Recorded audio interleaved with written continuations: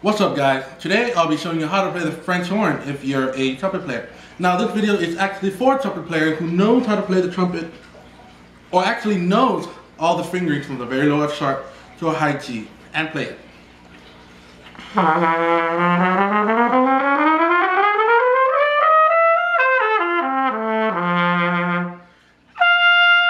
And that note is set to be the highest note on the French horn, if I can get it. Now the first thing you're going to notice that the mouthpiece are different. As you can see here, this is a horn and a trumpet. Well in this case, the cornet. As you can see, this is much more of a cup-shaped mouthpiece. And this is a cone-shaped mouthpiece. And the rim, this is thick and thin. And this mouthpiece produces a very, very mellow tone. This produces a bright sound.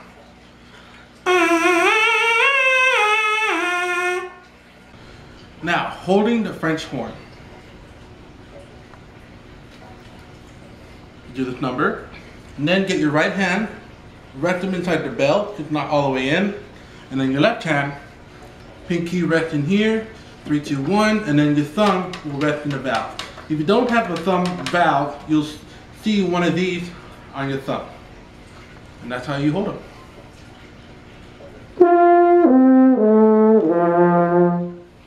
Now the other thing you're going to notice between the trumpet and the French horn is that they're both pitched in a different key. French horn pitched in F and the cornet is pitched in B flat. Now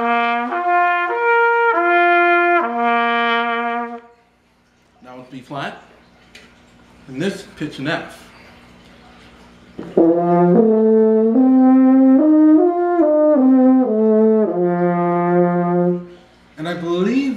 that it's an F is because it's, most, it's mostly based on balance and tone quality. Not only that, but you're also going to read differently. You're going to read an F for the French horn. So you're used to playing in B flat for the trumpet, now you're going to have to read an F. So in other words, your C would be F concert. This is the trumpet C. To give you further information about uh, reading in a different key, the top staff represent for trumpet in B flat, and the bottom staff represent horn in F. Now, as you can see here, this is a C major scale and this is an F major scale, but they're both in B flat major scale.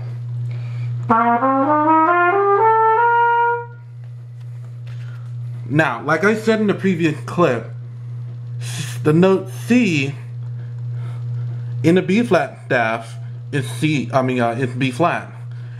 And for the horn, in F, the note C is F concert. So let's say, for example, horn in D. If we were reading in a horn in D, its C would be D concert. If you guys don't understand it, just let me know in the comments below, and that way maybe I can help you uh, much further. Now for the fingerings, as you can see here, this is the B flat staff. And those fingerings are for those notes, as you can see, C, D, F, G, O, 1, O, 1, O. It's pretty much the same thing for this for the uh, for the horn part. Of course, in the F side, O, 1, O, 1, O. C, D, F, G, O, 1, O, 1, O. So in other words, uh, let's pick a note. C sharp. C sharp here would have been 1, 2, correct? Now the C sharp here, right here, would have been 1, 2 as well. So in other words, the whole fingering chart has been brought down an octave lower on the horn part. So that's all it is. Before we move on to the B flat side, I really want you to practice the F side only for at least about a week and a half or two. And that way you can get the hang of the fingerings, uh, to how it sounds when you're playing a G, a D, or A. And that way you don't get confused while playing uh, the B flat side. Now for the B flat side. Now, let me make this very clear. So when you're using the B flat side, you're gonna be you're gonna be reading an F regardless. Okay. Now, so when you're using the B flat side, it's the same exact pitch and fingerings of a trumpet, but an octave lower. The pitch is an octave lower.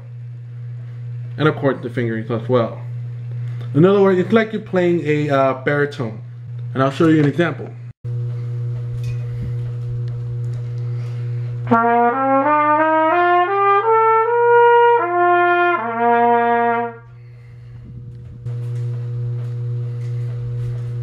With the trigger pressed.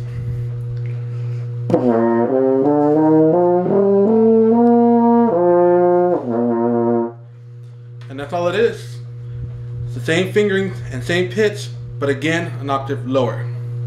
Now, this is my personal way to learn how to read an F while using the B flat trigger or the B flat side. And I hope I don't confuse you guys. Now, as you can see here, there are four different notes in each staff, but they're the same pitch. Now, you may have noticed that the fingerings on each staff are the same. 0, 1, 2, 2 open, and 0, 1, 2, 2 open on the B flat side, of course. Now, I'm sure you can imagine from G to C how it goes. And obviously, you know the fingerings. But what about this side? From C to F. And like I said, the fingering has been brought down by an octave lower. Same goes to the B flat side. So it's na na na na na. Now this is my version of the B flat concert scale or F major scale. These two notes are the only notes that I use on the F side because the F side, in my opinion, is much more in tune than the B flat side. Same goes to this note, T12 or A, because if I use T open, it's not going to be really in tune.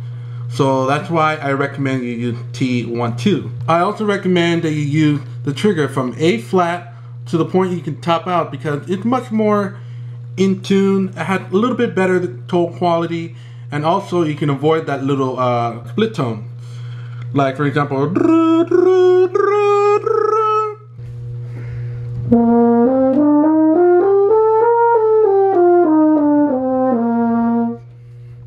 Alright guys, now wrap up for this video. One thing I did forget to mention is how to tune yourself on the French horn. Now, the horn itself is naturally sharp. But when you insert your hand inside the bell, it's in tune. Now, to tune yourself, you push in and out just like tuning slide on the uh, cornet right here. So you push in and out. Same thing you do with the hand. Push in and out. So when it's sharp, you push in, and when it's flat, you pull out. So pretty much same thing as the trumpet. Alright guys, I'll do it for this video, and I'll see you on the next video.